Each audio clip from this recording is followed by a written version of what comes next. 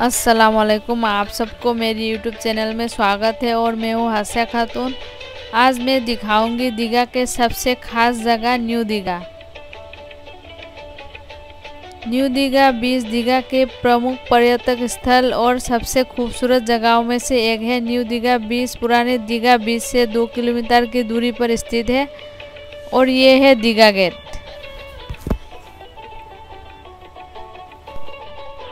ये बीच अपनी नरम नरम रेड और प्राकृतिक सुंदरता के लिए काफ़ी फ़ेमस है, जो इसे दीघा में घूमने के लिए सबसे अच्छी जगह में से एक बनाती है।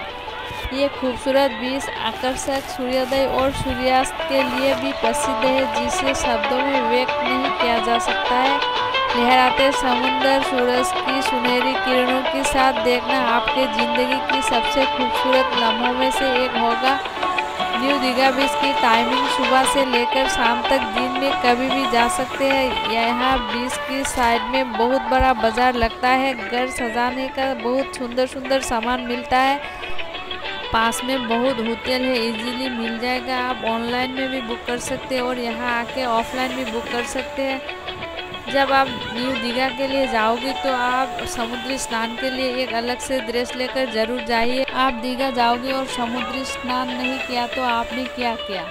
दीघा एक ऐसी जगह है, इस जगह पे बच्चों से लेकर बूढ़े सभी एज के लोग अपनी फैमिली के साथ जा सकते हैं और यहाँ जाके एंजॉय कर सकते हैं। न्यू दीघा फ़ेमस है समुद्री स्नान के लिए। यहाँ लहरों का स्पीड बहुत कम है, इसलिए लोग निधर होकर समुद्री स्नान कर सकते हैं। आप लोग वीडियो को स्किप मत करना एंड तक देखते रहिए। अगर आप लोगों के पास टाइम है तो दीघा घूमने के लिए ज़रूर जाइए फैमिली के साथ। Digha beach bay of Bengal नाम से जाना जाता है। पश्चिम बंगाल के मेदिनीपुर ज़िले में स्थित है। New Digha Digha rail station से 10 से 15 मिनट पैदल का रास्ता है। आप लोग ई रिक्शे में भी जा सकते हैं। दस रुपये का किराया लेते हैं। हावड़ा से सुबह की ट्रेन से जा सकते हैं। दस बजे आपको दीघा उतार देंगे और पूरा दिन घूम के शाम के छः बजे का ट्रेन पकड़ के फिर हावड़ा के लिए आप आ, वापस आ सकते हैं। यहाँ खाने पीने का भी बहुत सारा होटल है और बहुत कम रेट में यहाँ पर खाना मिलता है।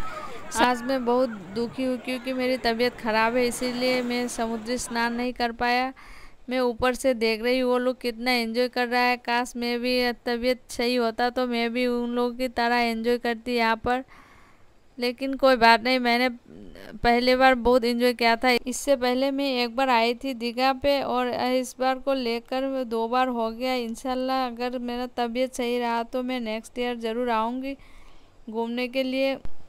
अगर वीडियो अच्छे लगे तो प्लीज़ मेरे चैनल को सब्सक्राइब कीजिए, लाइक, कमेंट और शेयर कीजिए और वीडियो को एंड तक देखते रहिए। Thank you for watching